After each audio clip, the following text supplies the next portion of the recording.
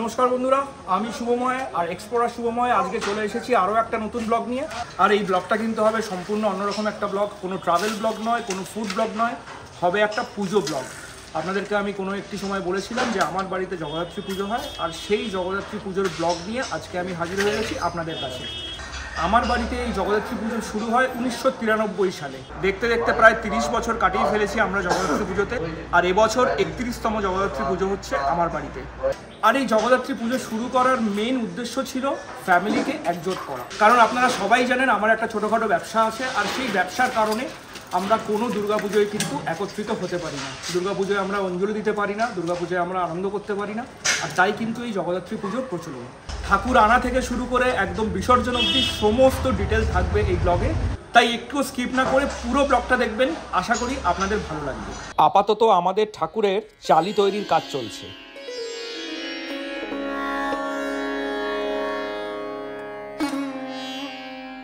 গতকাল সন্ধ্যেবেলা চালিটা তৈরি হচ্ছিল, তো সেটা আপনাদেরকে আমি দেখিয়েছি, আর আজকে চালিটা সম্পূর্ণ তৈরি হয়ে গেছে। আজকে আঠেরোই নভেম্বর, আর বিশে নভেম্বর থেকে আমার বাড়িতে পুজো। তো এখন আমি যাচ্ছি ঠাকুর আনতে। বাড়িতে বেশ সাজো সাজো রব। তো আপনাদেরকেও একটু দেখাই যে আমরা কীভাবে বাড়ি সাজাচ্ছি।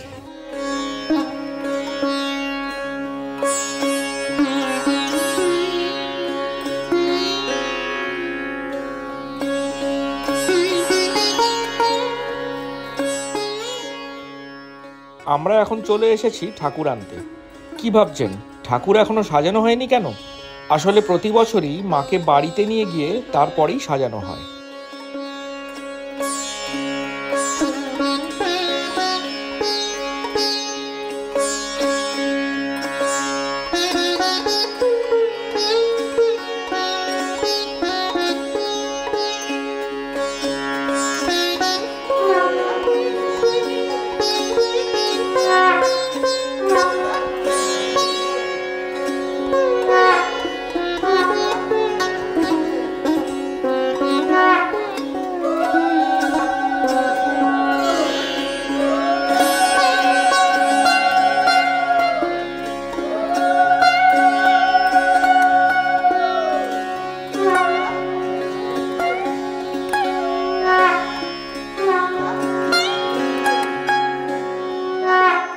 এবার মাকে তার আসনে বসিয়ে তারপরেই শুরু হবে সাজানো।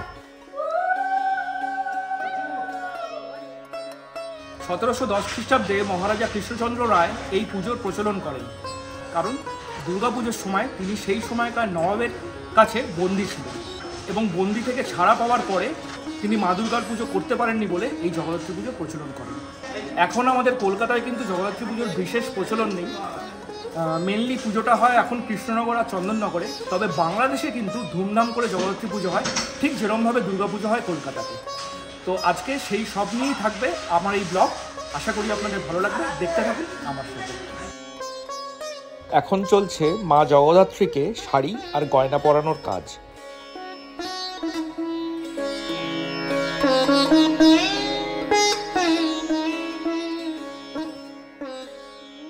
শাড়িটা প্রায় পরানো হয়ে গেছে। এখন পরানো হবে বাড়ির গয়না।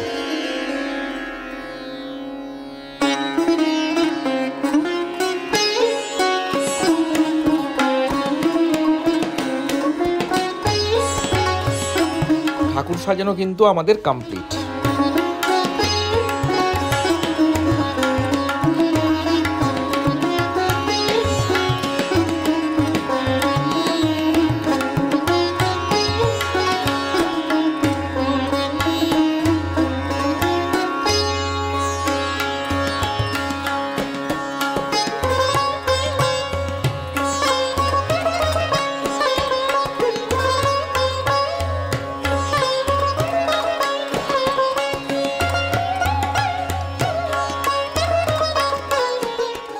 আজকে উনিশে নভেম্বর, কালকে আমাদের ঠাকুর সাজানো কমপ্লিট হয়ে গেছে, আর তাই এখন রং তুলির টানে শুরু হলো আলপনা দেওয়ার কাজ, আর কাল থেকে শুরু আমাদের পুজো।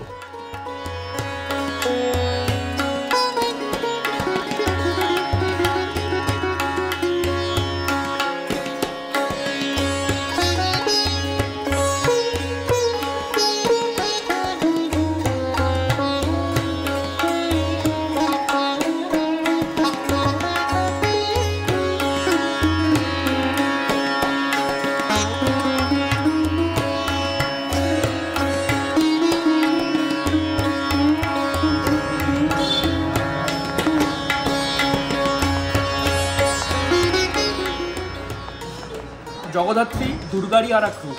উপনিষদে একে বলা হয়েছে উমা হৈমবতী মা আর এই জগদ্ধাত্রী পুজো মেনলি হয়ে থাকে নদীয়ার কৃষ্ণনগর, চন্দননগর এবং গুপ্তিপাড়া আজকে কুড়ি তারিখ, আজকে আমাদের চলছে সপ্তমী এবং অষ্টমী পুজো। মূলত কলকাতা শহরে জগদ্ধাত্রী পুজো হয় একদিন মানে শুধুমাত্র নবমীর দিন। এই নবমীর দিনে কিন্তু হয় সপ্তমী, অষ্টমী এবং নবমী পুজো। বাট আমাদের বাড়িতে এই পুজো কিন্তু প্রথম দিন থেকে হয়ে আসছে সপ্তমী, অষ্টমীর পুজো একদিনে এবং নবমী পুজো তার দ্বিতীয় দিনে। তো আজকে বিশে নভেম্বর, সোমবার আমাদের সপ্তমী পুজো। তো একটুও দেরি না করে আমার সাথে চলুন ভেতরে। আপনাদের দেখাই যে কীভাবে চলছে আমাদের সপ্তমী পুজোর প্রস্তুতি। এখানে চলছে পুজোর বিভিন্ন সামগ্রী গোছানোর কাজ।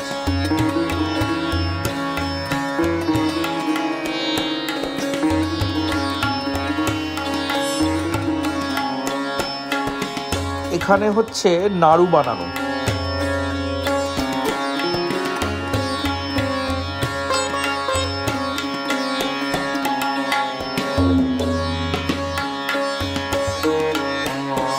ঠাকুরমশাই এসে গেছেন আর এসেই শুরু করে দিয়েছেন ঘট পাতবার কাজ।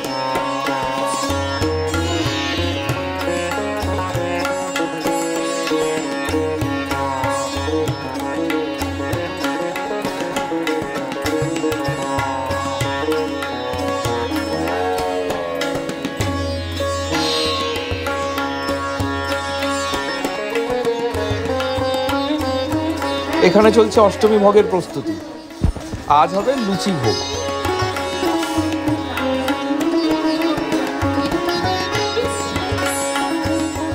আর এখানে চলছে ফলের নৈবেদ্য সাজানোর প্রস্তুতি।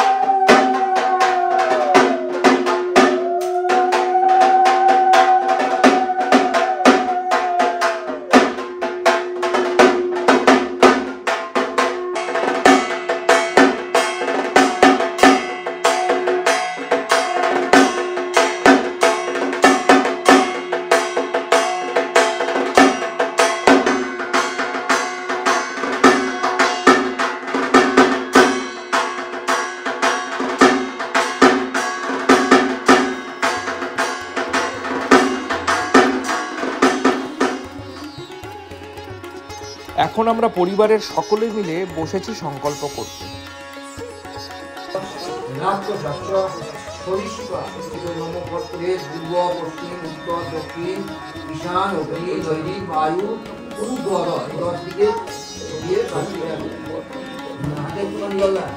নম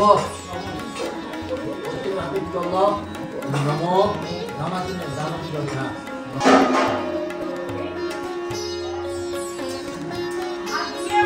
সে রাজ্যে সে একটু এদিকে না তাকালে কেমন করে হবে? তো রাজ্যে তো হ্যাঁ মন দিয়ে করো, এবার করো মন দিয়ে। মাঝে মধ্যে তাকাবে আর মন দিয়ে করো।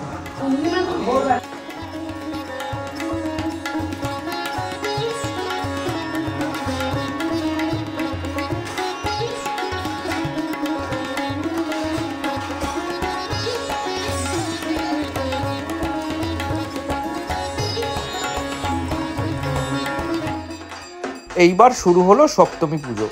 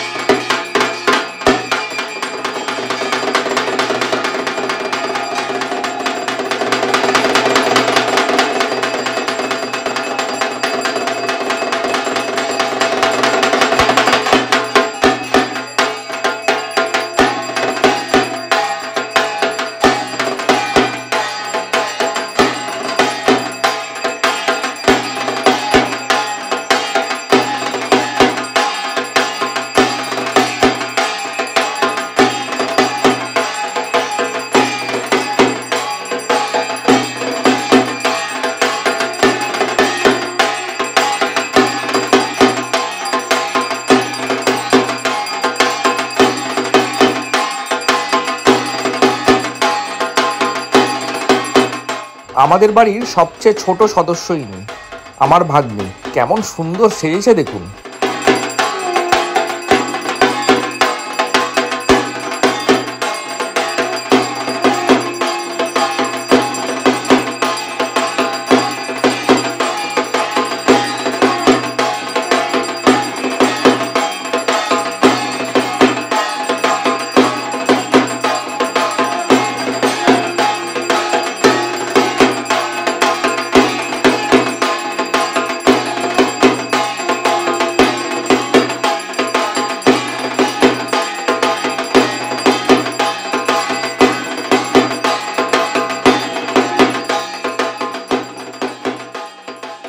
নিয়েছো? নিয়েছো তো?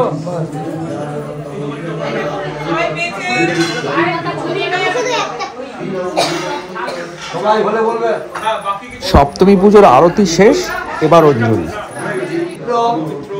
পবিত্র বা সর্বাবস্থান তত কিবা কাত্তায়নী চকামদে আলোকি কৌশিকী নিত্যং হি নারায়ণী আর অঞ্জলি শেষে এবার শুরু হলো অষ্টমী পুজো।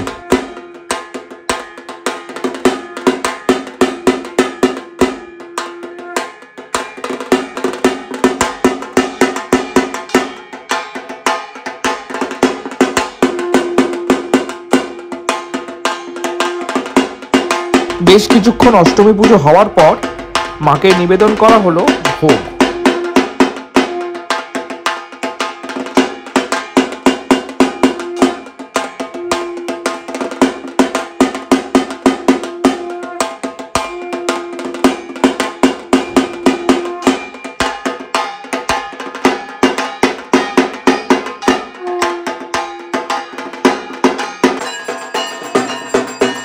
আর তারপরই শুরু হলো ভোগ আরতি।